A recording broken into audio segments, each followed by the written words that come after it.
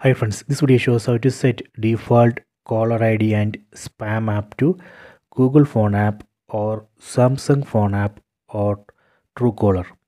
Please don't forget to subscribe this channel. Please like and share the video. Go to settings. Tap on the settings app icon. Go down. Go to apps. Tap here. Tap on choose default apps. And here tap on caller ID and spam app so here you can see four apps.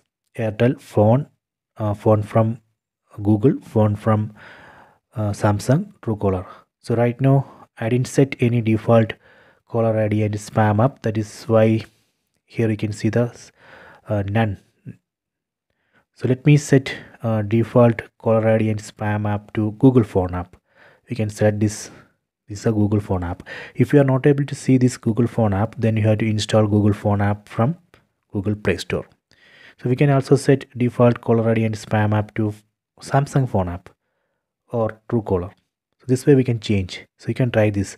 I hope you have enjoyed this video. Please subscribe this channel. Please like and share the video